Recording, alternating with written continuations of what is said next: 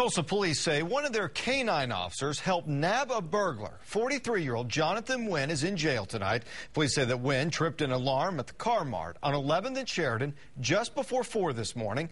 Uh, once on the scene, officers say that Hooch, the canine officer, was able to keep Wynn from escaping until officers cuffed